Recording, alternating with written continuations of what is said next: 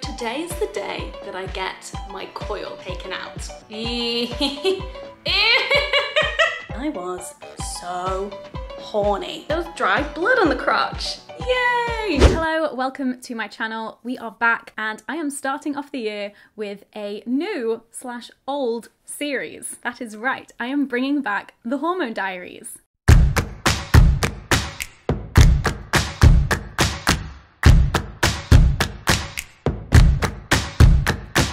If you're new here, hi, my name is Hannah, and this channel is all about sex and relationships and our bodies. And in 2016, I started this series called The Hormone Diaries, where I documented my journey coming off the pill and all of the changes to my body, the return of my period after its seven year absence. That series kind of phased out after I then got the coil and my periods stopped again. But it also became a book. I wrote a book called The Hormone Diaries The Bloody Truth About Our Period periods, which is all about contraception and periods and all of that stuff. But now I'm relaunching the Hormone Diaries series because exciting, daunting, terrifying, vulnerable news my partner and I are trying to get pregnant and have a baby, and I wanted to document that process. I say vulnerable news because this is not a pregnancy announcement video.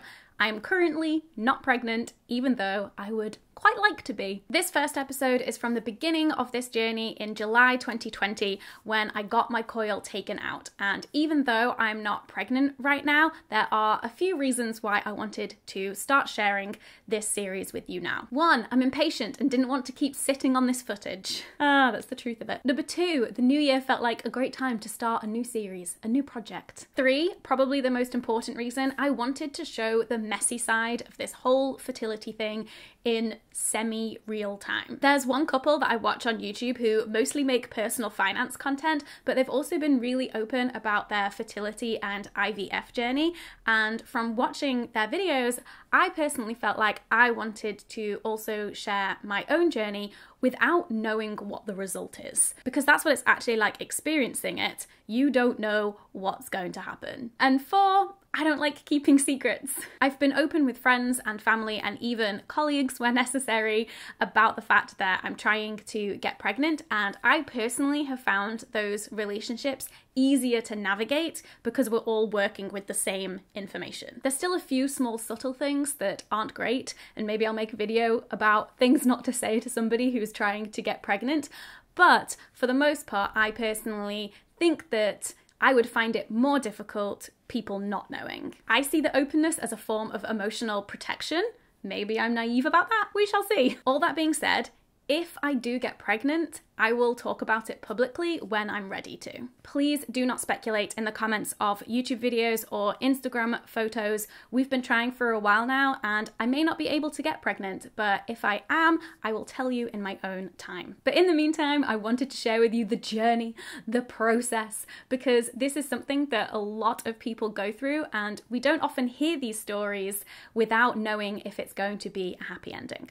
So Let's start at the beginning. Hey, good morning. This is strange. I feel like I'm going back in time documenting what I'm doing with my body and my contraception. So today is the day that I get my coil taken out. Now the coil that I have is the Mirena coil, it's the hormonal one and it lasts five years. I'm getting mine taken out a bit early because guess what?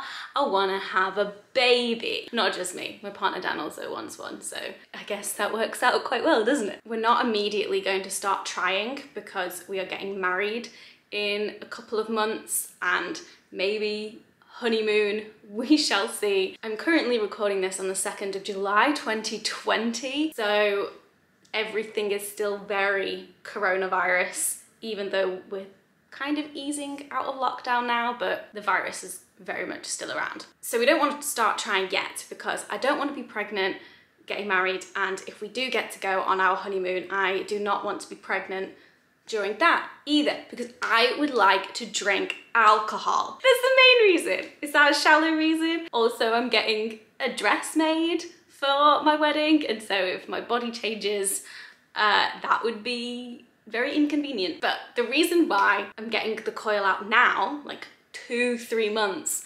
before we even want to start trying is because the last time I came off contraception where I didn't have a period and it's the same this time around on this coil I haven't had a period it took six weeks for my period to come back and then that year that I was having periods my cycle was so long so irregular. I don't actually know what's going on there. I think if the same thing happens this time round where I just have like 45 to 60 day cycles, I would probably go to the doctor about it and just be like, is there something going on? Like, why is my cycle so long and irregular? Because if you're trying to have a baby, that might be something that you want to investigate. So yeah, I'm basically giving my body a bit of a head start to get back into a routine. I'm going to start tracking my period again. I'm going to start tracking my cycle. Again, I still have my thermometer for the Natural Cycles app and I'm undecided about if I want to go that route. So yeah, my appointment is this morning. Normally the way that they do it is when you go in, you have a consultation about what you're in for, um, but because of COVID, we did the consultation over the phone and I learned some things that I would like to tell you about. So first of all, she was like, no sex. no sex for a week before you get it taken out, or at least no sex that could get you pregnant. And the reason for that is because sperm can survive up inside the womb for up to a week, which means if you have sex on one day and then like a week later you ovulate, you could get pregnant because some of that sperm might still be alive and ready and waiting for the egg to appear. Like, ooh, Dan and I haven't used condoms in about three years. Luckily, we still have some condoms. I checked the expiry date. It's all fine. That's a new routine well, an old routine that we now have to like come back to. And then the other thing that they did on the phone consultation was just ask about any medication that I'm on, medical history, I had to tell them about my stoma and stuff. And then they also asked if I was being abused, forced or coerced in any way. And the answer to that is no, but I think it's pretty good protocol that that's something that they ask. I've heard that getting it taken out is a lot less painful than getting it put in. They still use a speculum and apparently they make you cough. Now, obviously with COVID, maybe they'll just like make me wear a mask and then like cough also just protect it all so the cough doesn't go everywhere. Or maybe they won't make me cough and try and like get it out another way, make me go like I don't know what the situation will be. I'll let you know. Let's go! Also, yes, of course I have a yellow face mask.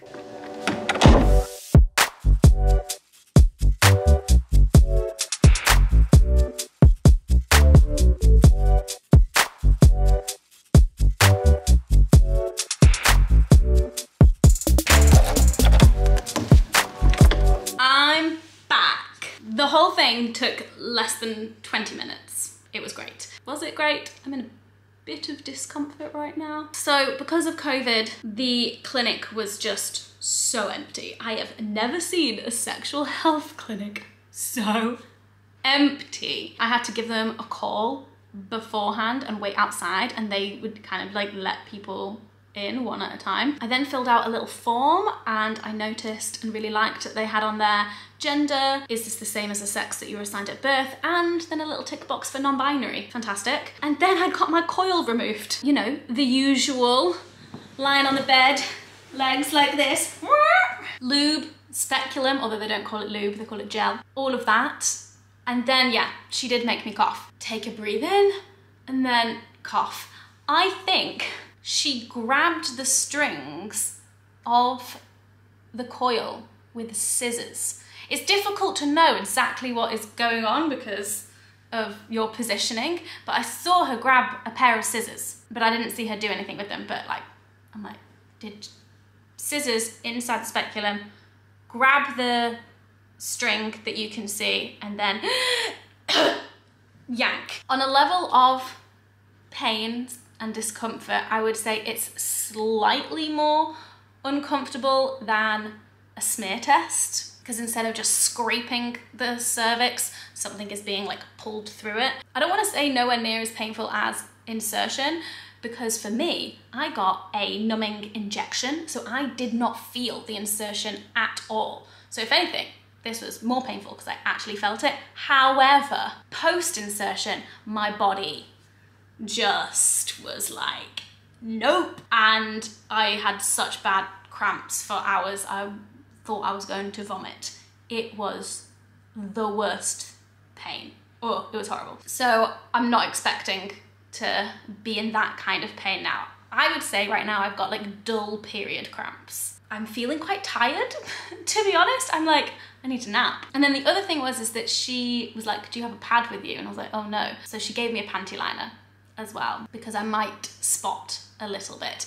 And that actually reminded me, I need to take stock of what period products I've got in the house. I have a menstrual cup somewhere, need to locate that and give it a clean. I've got two pairs of period underwear. However, they're both low rise and with my stoma and everything, I now prefer to wear high-waisted underwear. So that's not ideal. I might have to get myself some new period pants. And then I think I've got some pads and tampons as well, which considering I already have them, I might as well make my way through them and then figure out alternatives. One thing I'm really not looking forward to in terms of having no contraception is my boobs. So with the lower amount of hormones in the Mirena coil, I still felt my cycle, even though I didn't have a period, I still felt when my boobs were like heavy and achy and sore, but it was nowhere near as painful as it was without contraception.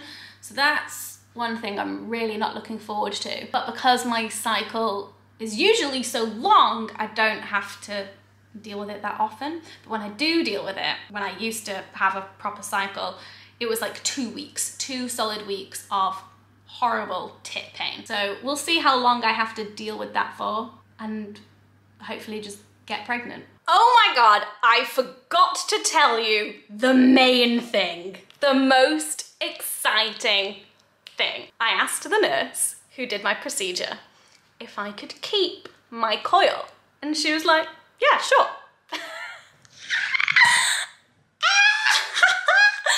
um, can you see it? This has been inside my womb for the last two and a half years. This is my coil. It's a bit manky from being inside my uterus. What do I do with this now? there was definitely some vagina gunk on that, but it's fine. It's all my body. It's all my body. Let's just put it. But yeah, look, so that's how big the Mirena coil is. That's something that we can that we can take away from this, and this is the string. What a time! There it is. Hello. So it's a few days later after I got the coil taken out and a few things have happened. So on the first couple days, like no spotting, no bleeding, even though she said that that was a common thing that could happen, but it didn't happen to me until Saturday. Oh, also worth mentioning that those cramps that I was feeling, they lasted maximum an hour and then nothing. So yes, Saturday, I got a kind of period. I was very confused, um, but it was blood, it was clotty. Mmm, you know you love it when it's clotty. But yeah, so I got my period. Luckily I have lots of pads and tampons and stuff in the house. So I was using them on Saturday and then I cleaned my menstrual cup so it was ready for me to use. I wore some period underwear overnight. Yeah, so Saturday there was like a fair amount of blood and then like I don't know about overnight because I think if there was anything it just got absorbed into the period underwear. I don't know. So then on Sunday I had a tampon in for some of the day and there was still stuff on it but barely anything and then yesterday which was Monday I wore my menstrual cup in, which was lots of fun, although my nails were very long and then I had to uh, file them down because owie, you do not want to be inserting and taking out a menstrual cup when you've got long, scratchy nails. Not fun. But yeah, I kept the menstrual cup in for like most of the day and there was only like a small amount of blood in there and it was very brown. So like on the Saturday, it was like red, clotty, clumpy, and then yesterday it was like liquidy and brown. So I don't know. I've got like a panty liner in right now. I'm not expecting, I'm not expecting much. And I've started using Clue again to like track everything that's happening. And I've put it down as spotting, but I'm like, do I put it down as a period? I don't know. But yeah, that's what's happening. That's the update. Genuinely was so shocked when I saw it on Saturday because last time it took six weeks for a period to come back for me to bleed again. And this time it was just like two days later, there it is. Although I highly doubt it's a period. I think it's just probably my uterine lining that has just been hanging out inside me this entire time. And then suddenly it's like, we're free. Um, and maybe that's why it's a bit clotty and brown because it's been hanging out up there for a while. I don't know.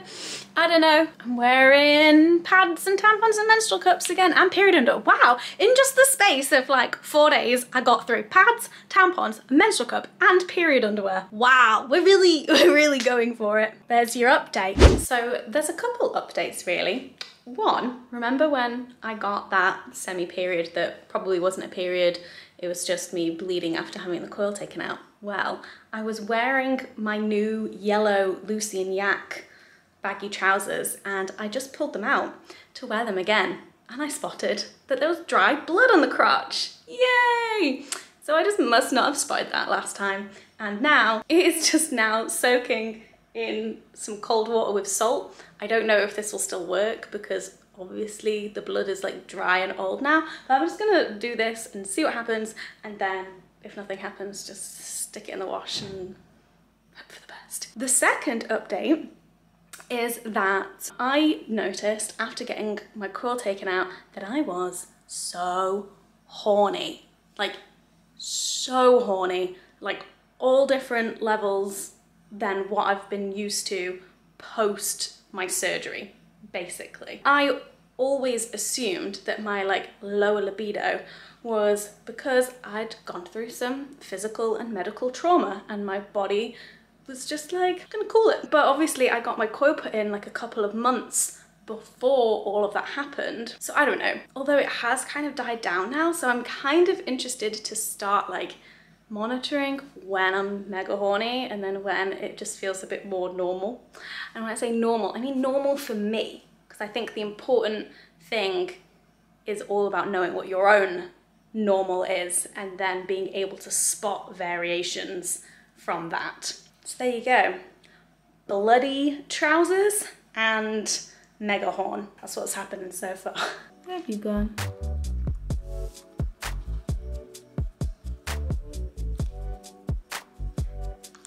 Let's just ignore all of the mess behind me, but they clean. We got rid of the blood stain. The cold water didn't fully do it, so I had to put it through the wash. But I checked. I can't seem to find the bloodstains anymore, so hopefully we're good. Did you hear my hip click just then? That was bad. yeah! I feel like this was a rite of passage for taking my coil out, just getting blood-stained clothes, so great start. So last night I got my usual boob pain start again. Let me just check how many days slash weeks it's been since I got the coil taken out. Basically, when I did have a period and my full cycle, my boobs would hurt for like two weeks before my period started. It was like pretty accurate, like my tits would start hurting two weeks later, period. And then since being on the coil, I had that, but just less. So my boobs hurt less and they would only hurt for maybe like one week before it would disappear. Because I didn't have periods, but it would be like the boob pain would disappear and then I would get some cramping, but no period. And so I would mark that as a period, even though it wasn't a period. Here's a thing that I wish period apps would do, is allow you to mark a cycle without saying that you're bleeding because there are other indicators that we know about in our body that indicate us like starting a new cycle that isn't just bleeding. So I would just always like put in a day of bleeding even though I didn't bleed just so that the app would reset. So the boobs started hurting yesterday. Let's add that in. The tender breasts. Okay, so that was day 42 of my cycle and I got my coil taken out on day 16. There you go, 26 days. The boobs are hurting. Now, I don't know if it's gonna be a week or two weeks. I don't even know if I will even have a period at the end of this. And by this, I mean the boobs hurting. But we shall see. We shall see. Also, you know how in that last clip I talked about being really horny? Not horny at all anymore. Like, what? like, but maybe that's just like a natural ebb and flow in my libido, but also I'm, I'm just being very particular about like tuning in with like all of these different things because I was so horny. Like, just could not stop thinking about sex and wanting sex. And now I'm just like, eh, could do without. So I don't know what all that is about, but oh my days. So I went about my entire day yesterday and it was fine. And then it was like when I was getting ready for bed in the evening and they're taking the bra off and it was just like, ooh, and I had to kind of like hold them up because the weight of them hurt so much. But yeah, I really hope that I don't have this for two weeks. They hurt. Gonna stop fondling my boobs now. Guess what? I got my period. Yeah, happened already. Genuinely wasn't expecting it to come this soon. So, if we do the maths, basically um, my boobs started hurting six days before I came on my period. Um, and my boobs still hurt yesterday, which is when I started my period, but I'm just checking them now and I'm like, no, it's gone, it's gone, they're better. So yeah, we were actually away and staying with some friends um, and I woke up yesterday morning and I just like had really bad cramps and I was just like, why am I cramping? Like, what's going on? Like, my boobs still hurt. Um, and then I looked down and um, luckily didn't get any blood on our friend's bed sheets, but did get it all over my thighs. Just all down my inner thighs and had to borrow a tampon, although not borrow because I'm obviously not giving it back. But then by the time we got home yesterday, I have just been using my menstrual cup. Does this happen to other people? When you first come on your period and then like you wipe the blood away and then you use whatever menstrual product you're using, right?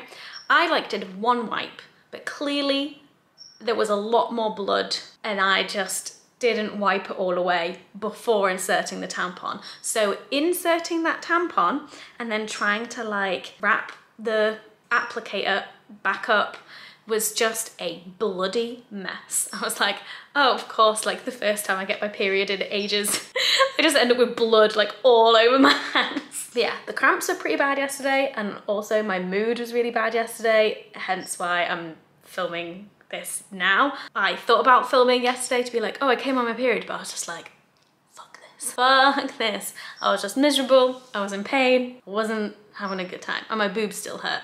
So it was just like, all of the symptoms at once, yay. But now we're just rolling with the punches. Now we're fine, we're on day two. Yeah, so six days after my boobs started hurting, got my period, and four and a half weeks after getting the coil taken out. So there we go, shorter than last time, but that was on the pill. And so I don't know if it's different because when you're taking contraceptive orally, then it's like throughout your entire bloodstream in order to get to your uterus, whereas before the hormones were like localized in my uterus. So maybe that's why it took less time for things to revert back. Who knows? But yeah, I'm a bleeder again. I'm on my period. This morning, Dan asked me how the curse was, and I was like, are you talking about my period? Didn't appreciate it. Did not appreciate that at all. But yeah, here we go. Got my period. This is what we wanted. We wanted to get the body back to normal so then we can start the baby making. So there we have it. At least I'm not pregnant right now because that would have thrown off all my plans. Obviously you can't plan for this shit, but still I got my period and I was like, Dan, guess what? Not pregnant. we'll see when the horn comes back. I'm interested to see if like in my next cycle I like find myself being really horny for like a specific period of it. We shall see. Lots of adventures to come.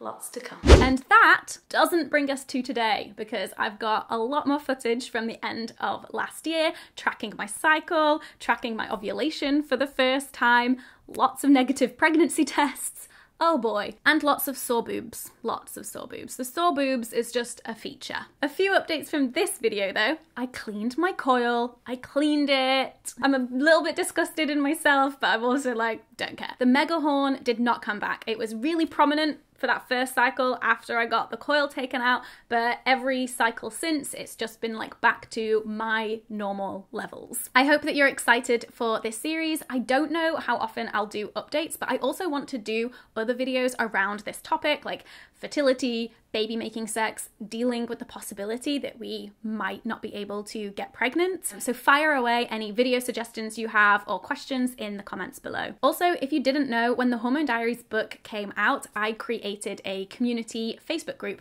for people to talk about all of these topics periods, contraception, hormones, fertility, all of that. I'll leave a link to that in the description, and if anyone else watching is also on a fertility journey, that might be a good place to connect and share with others. Thank you so much for watching. I appreciate you all. I hope that you're well. Here's to 2021. Let's see what it brings.